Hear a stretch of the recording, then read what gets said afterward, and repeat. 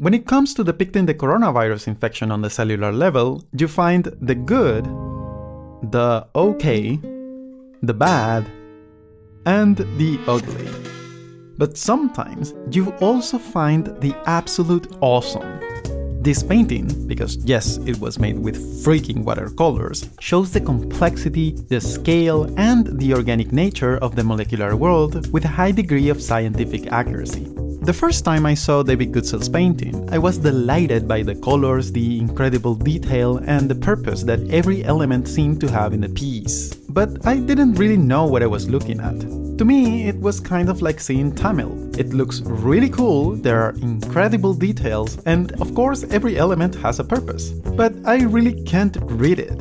And I really wanted not only to read this David Goodsell painting, but also understand what's going on with all of these other representations. So I started to read about the coronavirus infection cycle, proteins, molecular representations, and soon enough I fell into a deep, deep rabbit hole.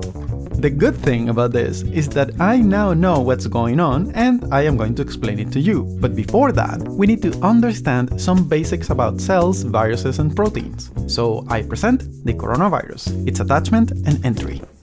Compared to cells, viruses might seem pretty boring. Cells are huge and complex. They move around, eat, breathe, grow, communicate, and reproduce.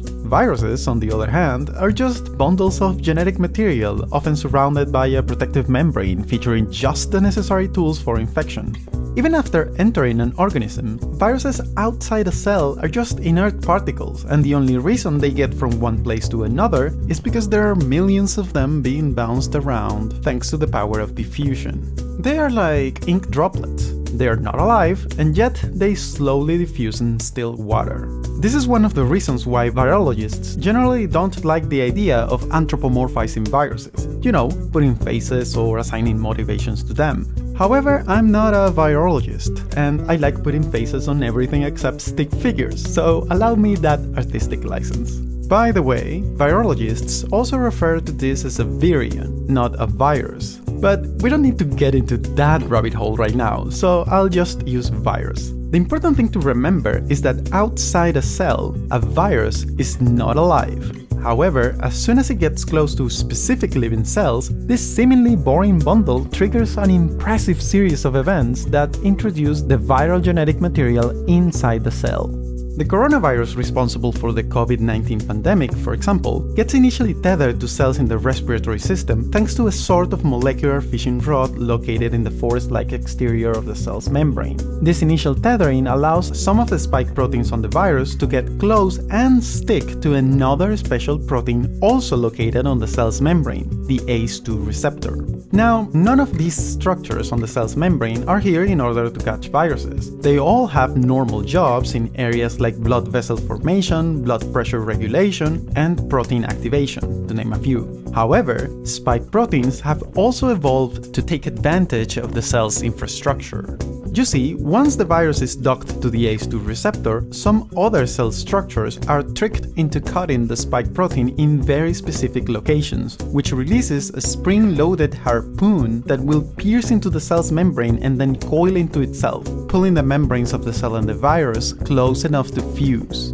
This is how the viral genetic material gets inside the cell, where it will take advantage of other cellular structures to produce millions of viral parts, which will then self-assemble and exit the cell, starting the whole cycle again. An impressive process that will surely keep my mind curious for a long time to come. But for now, this is all we need to know to review the various depictions at the beginning of the video.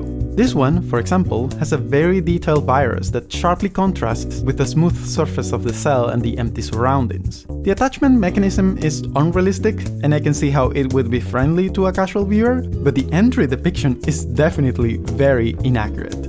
This other one does display the fusion of the membranes of the cell and the virus, but the virus's membrane is outside in, and the viral genetic material is released inside the membrane of the cell, which is completely wrong. This other one isn't really attempting an accurate representation on the molecular level, and it's just 20 seconds on a 25 minute episode about the coronavirus pandemic in general, so I guess it's okay. Wait, you're really gonna say this is okay? After you nitpicked so much on the other ones? Yeah, I think it's um Okay. Finally, David Goodsell's amazing painting displays a SARS-CoV-2 variant fusing with a cell. You can see spike proteins in several stages, the cell membrane structures, the fusion between the membranes, the viral genetic material, and you can even see how the cell's ribosomes are starting to produce viral proteins. I'm not sure why the fishing rods are missing here, but the confirmation of their involvement in the SARS-CoV-2 entry is very recent. Also, this painting has some degree of informed speculation, since we don't know everything about the coronavirus infection cycle. For example, it's February 2021 and we don't know if the fusion happens at the attachment site or after the virion is enveloped by the cell and we don't even know the exact shape of some of the cellular structures involved.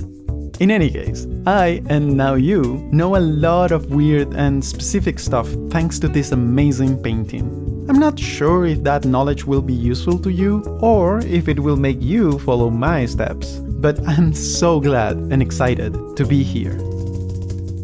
At least while this lantern keeps working.